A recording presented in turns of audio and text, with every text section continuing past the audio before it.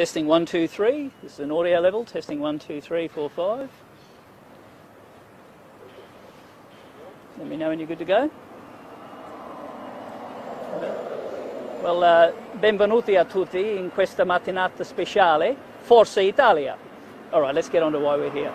Um, ladies and gentlemen, uh, it's important that we, as a, an opposition, are out in the community talking to people and making sure they know that they matter in every part of Queensland. And we are a better, more effective opposition when we do so. And today, the entire Shadow Cabinet will be in the Moreton Bay. Uh, we'll be meeting with small and family business owners, their staff. We'll be meeting with people in the council, talking about infrastructure delivery. And one of the most important things we'll be talking about is the state of the health system in Queensland. And we've asked the government to use the day of estimates that were set aside for the Premier. It's been put forward to facilitate her trip to Tokyo.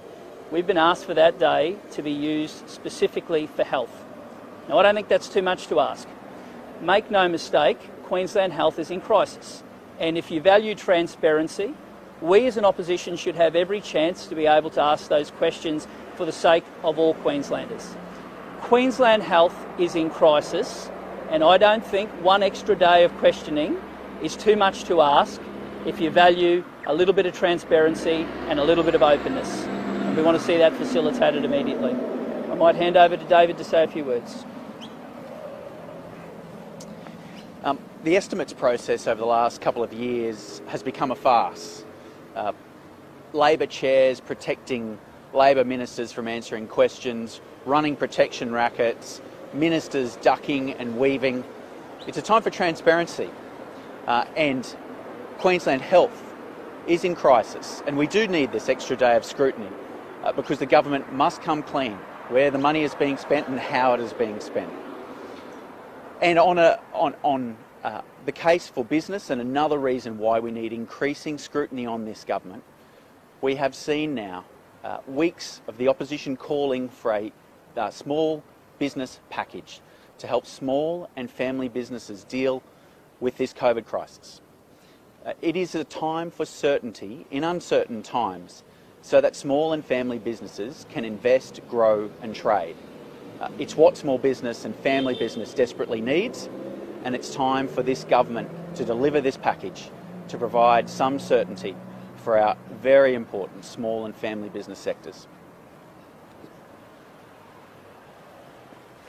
Queensland Health is in crisis because the Queensland Government is losing control of health. Here we are at Redcliffe Hospital today where 50% of patients are ramped for longer than necessary. One in three of those are on a, on a stretcher for longer than they need to be. We have over 10,000 patients waiting uh, on a waiting list for their surgery and over 40,000 patients um, waiting on the waiting list. This is a government that is losing control of health. If the health minister can't afford an extra day of scrutiny, then she shouldn't even be there in her job. This is the most important crisis that this uh, state has had. I'm the Shadow Minister for Health and Ambulance Services. I want to be asking questions about ramping, about code yellows, about our waiting list for the waiting list, about our surgical waiting list. And if the Health Minister is so arrogant that she can't turn up for another day, then she doesn't deserve to be in her job.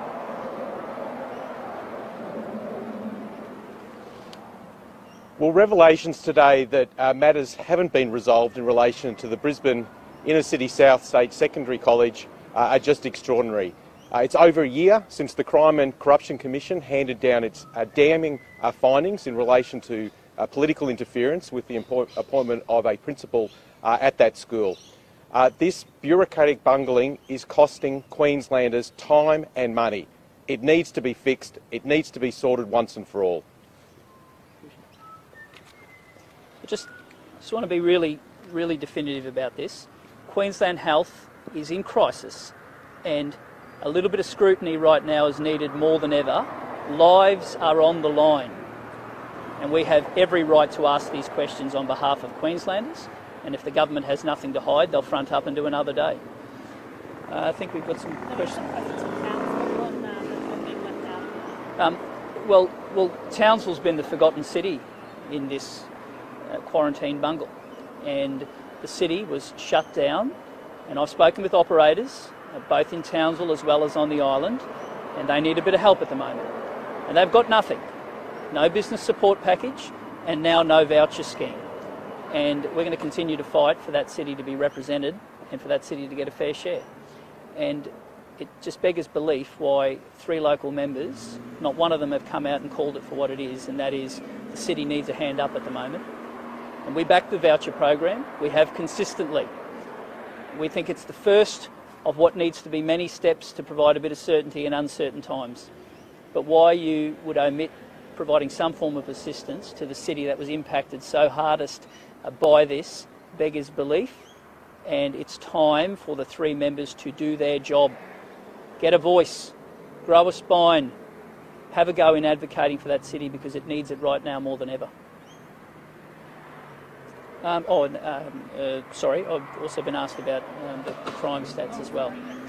Um, look, one month of good data is welcomed, but it's going to take a long time to turn around law and order in the north. And make no mistake, until we restore breach of bail as an offence in this state, you will continue to see crime be at the forefront of people's lives in Townsville, and we are fighting for that change because the way people feel and the safety long term, not just one month of data, but the long term safety of people in the north relies on more police on the ground and a stronger justice system to protect them.